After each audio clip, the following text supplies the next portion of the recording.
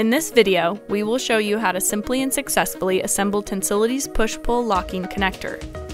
The materials you will need are a push-pull locking connector that includes an outer shell, slit insert carriers, an internal connector, a collet and collet nut, soldering equipment, and wire. Strip 10 millimeters off the blunt end of the outer jacket and remove the shield if applicable. Try not to strip more than 13 millimeters. Strip off 4 millimeters from all insulators. If you are using a drain wire, apply heat shrink to the drain, leaving 4 millimeters of the conductor exposed. Thread the collet nut onto the wire, tapered end first. Feed the collet onto the wire, multi-split side first.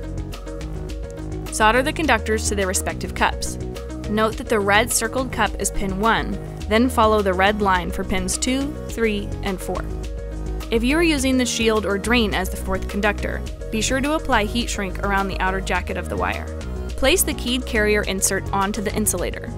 They should key together but shouldn't cover the pins. Line up the lower insert carrier to create a complete shell. Feed the inner connector into the outer shell with the key and red dot in alignment. Slide the collet into the outer shell. Make sure the key is aligned with the red dot.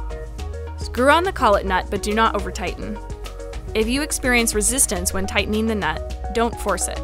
Make sure all the various keys are aligned and then try screwing the nut back on. Tensility's push-pull locking connector is available with 4 to 7 pins. If you have questions about the right configuration for your application, our engineers are here to help. Tensility is a worldwide provider of basic and customizable connectors, cables, and wire for use in cutting edge industries and entrepreneurial ventures. Call or email us today